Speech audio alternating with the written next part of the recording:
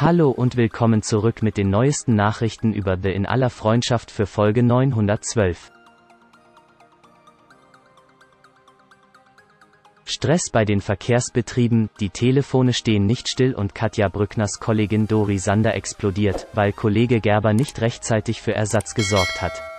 Dabei bricht sie mit heftigen Bauchschmerzen zusammen. Katja ruft den Notarzt.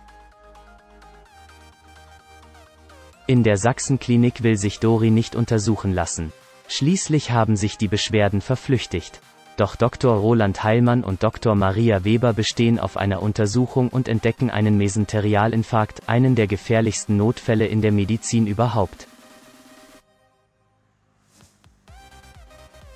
In einer Notoperation kann das Schlimmste vorerst abgewendet werden, doch es bleibt die Frage, warum eine so junge Frau einen Darminfarkt hat.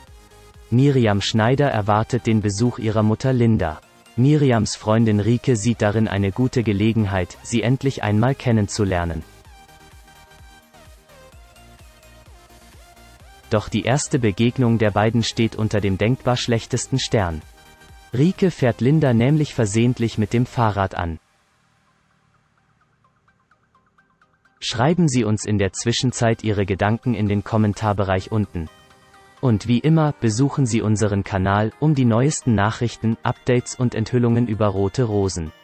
Danke fürs Zuschauen und bis zum nächsten Video. Vergessen Sie nicht, unseren Kanal zu abonnieren. Tschüss.